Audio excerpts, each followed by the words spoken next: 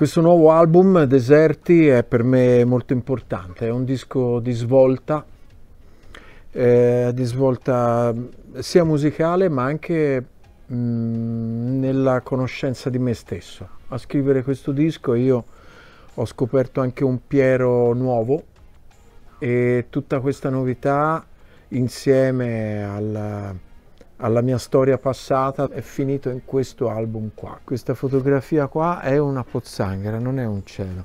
Se ci si fa caso ci sono tanti punti che lo, che lo dimostrano.